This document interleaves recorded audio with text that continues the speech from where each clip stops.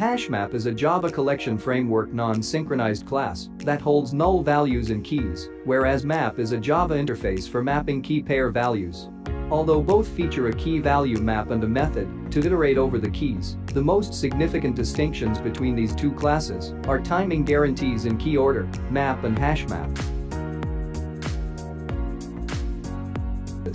HashMap is faster than map since it does not keep track of the order in which its components are inserted. HashMap, unlike map, can hold duplicate values. It is feasible to use the map interface implementing classes to implement it. HashMap, on the other hand, is all about implementing the map interface.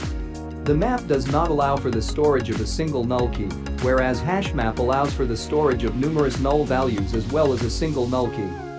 HashMap is a non-synchronized Java Collections Foundation class, unlike map, which is an interface. HashMap and TreeMap are two map implementations, with HashMap making use of the map interface. Compute if absent, k-key, function mapping function, calculates the value of the provided key using the given mapping function and adds it to this map. If it hasn't already been assigned a value clear, removes all of the mappings from this map contains value, object value. This method checks whether this map maps one or more keys to the given value. Compute, k-key, by function remapping function, returns the mapping between the requested key and its current map value, or null if there is no current mapping. Clone, makes a shallow clone of this hashmap object with the keys and values preserved. If the supplied key exists and the existing map value is given, compute if present k key, the function remapping function, calculates a new mapping. Contains key, object key, the method for checking. If this map has a mapping for the given key. Entry set, this method is used to create a set of identical elements in a hashmap.get object key. This method has its own attributes that return the value or null for the specified key. Hashmap.values is used to create a collection out of the map's values. get object, this function retrieves the value mapped to a specific key in the input. Hash code. The hash code of a string comprising the key and value for the supplied map is returned by this method. Equals object. This method is used to compare the similarities of two maps. It determines whether the components of a parameterized map are the same as the elements of this map.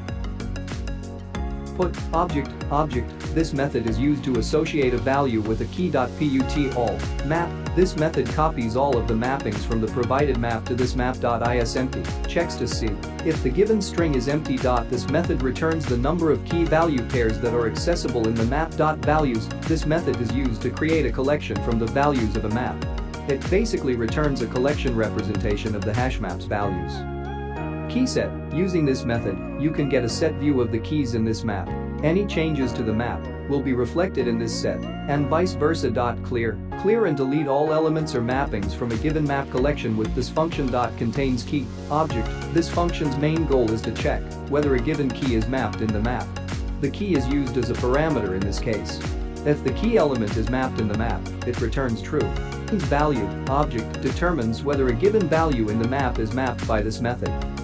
HashMap and map are comparable in certain ways, but the interface is what separates them. In the instance of HashMap, the interface is HashMap, but in the case of map, the interface is map. However, if you declare it as HashMap and wish to alter the underlying implementation, you'll need to change the contract. Programming against interfaces rather than implementations provides the added benefit of keeping flexibility. For example, you can change the behavior of a dynamic type of map at runtime as long as it's a subtype of map.